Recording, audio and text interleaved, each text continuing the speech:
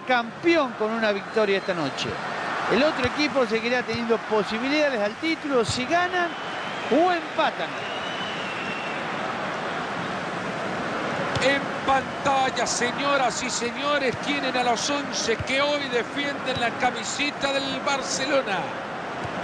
La disposición táctica que van a utilizar hoy es un 4-3-3, un falso 9 sin una referencia dentro del área, un jugador que puede aportar para trasladar pelotas desde la mitad de la cancha. Bueno, Rodríguez.